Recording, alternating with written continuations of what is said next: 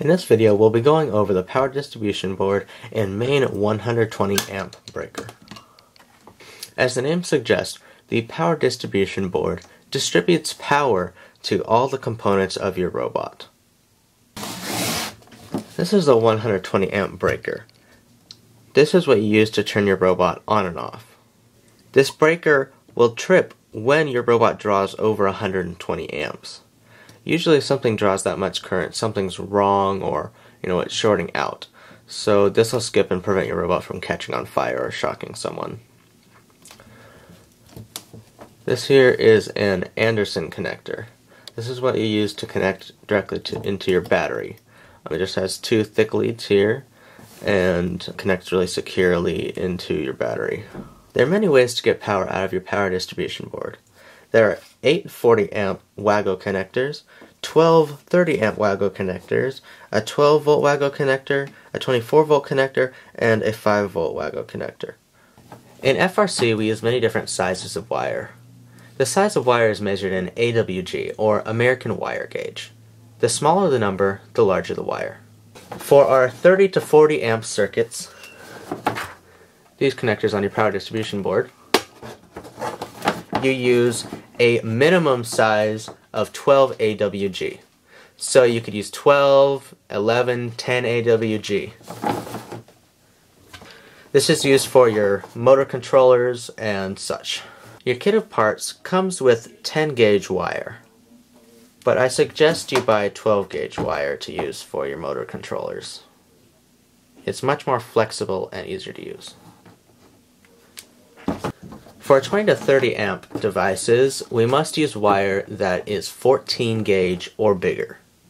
This size of wire is used to power things such as your analog breakout and your digital sidecar. This is 18 gauge wire. It's used to go between the power distribution board and the analog breakout board, the power distribution board and the solenoid breakout board, and the power distribution board and the digital sidecar.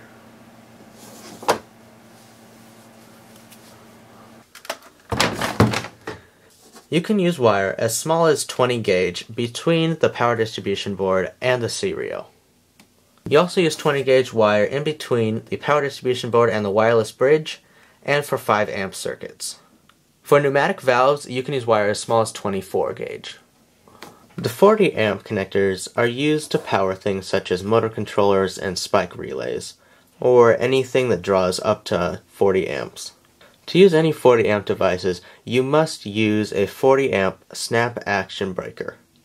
What this does is make sure that your device doesn't short out and draw too much current, catch something on fire, or just generally fail and make an unsafe situation. You can tell which slot to put the breaker in based off of where these little lightning bolts are. So if I want to power these two, I put the breaker in here because there's a lightning bolt here pointing to these two. Before you attach any wires, make sure you twist them so that straggler wires don't go out and get shorted on something. To insert the wires, all you have to do is put your screwdriver in like this, pull up, and push your wire in you'll see a little door open up inside the WAGO connector. And just release and pull your screwdriver out. You can test it by just pulling on the wire. If you can pull it out, then you don't have a good enough connection. And try again.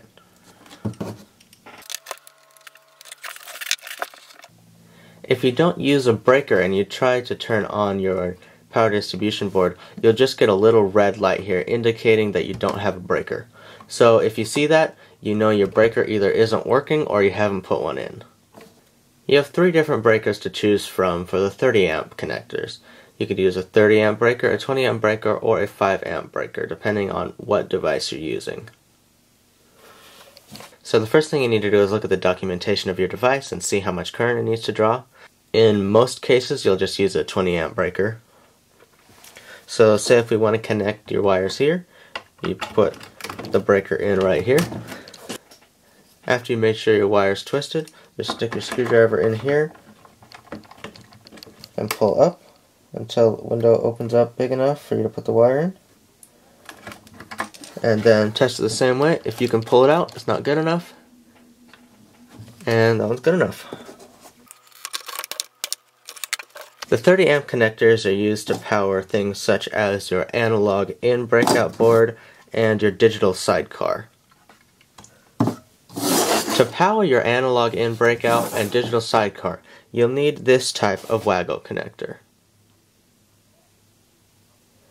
It fits in just like this and supplies power to your device. Making a wire to connect into your analog in, digital sidecar, or cRIO is not hard. All you have to do is put the connector in and note which cable is positive and which cable is negative. So you can see positives on the left and negatives on the right. So this one will be positive and this one will be negative. Now just make sure the polarity is correct on your connector and put in your wires. Just have stick the screwdriver in that hole like that, pull it back, and put in your wire like this. Make sure there aren't any little straggler wires going anywhere, and release, and you got your cable in there. You can test this one the same way, just pull on it, if it comes out you fail, if not you're okay.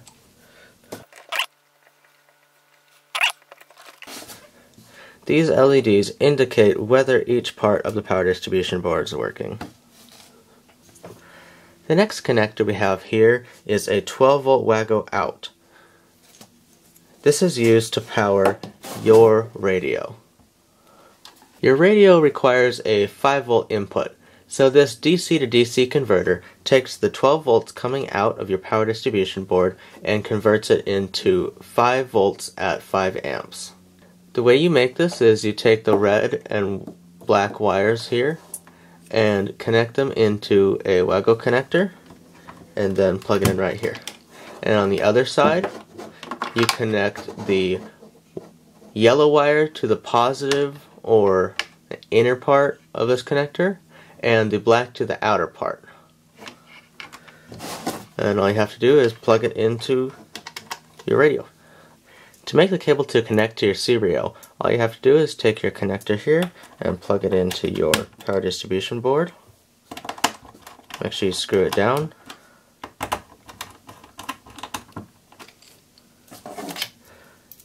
Then take your red wire and put it in where it's labeled V.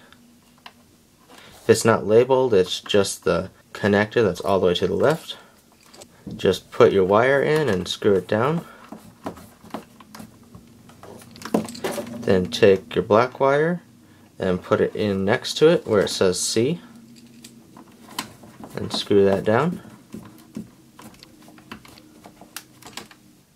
The cRIO only requires two wires for the input. These other two wires are connect to your solenoid power input. On the part that goes into your cRIO, the red wire goes on the right here and the black wire goes on the left. Make sure they're oriented correctly before you apply power. Then just screw it in the same way. This last connector here is used to supply power to your camera.